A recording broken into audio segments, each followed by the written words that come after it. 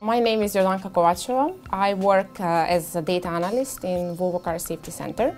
We are collecting data from 100 vehicles in their normal driving conditions. The data collection was for one year and the analysis part was for two years.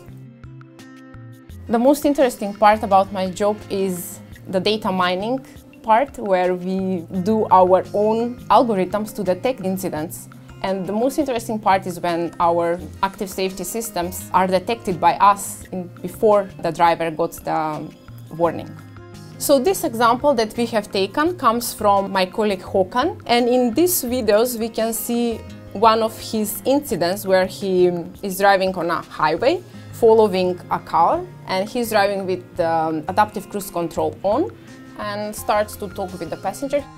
While talking he doesn't uh, see that there's queue forming in front of him so the forward collision warning attracts his uh, attention to the road ahead and the driver starts immediately braking, decreasing the speed.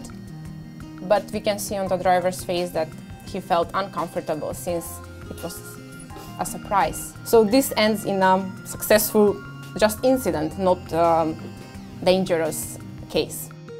This job is very rewarding and interesting because what we do here also goes to the product and it's I think even if we save one life it's worth it what we do.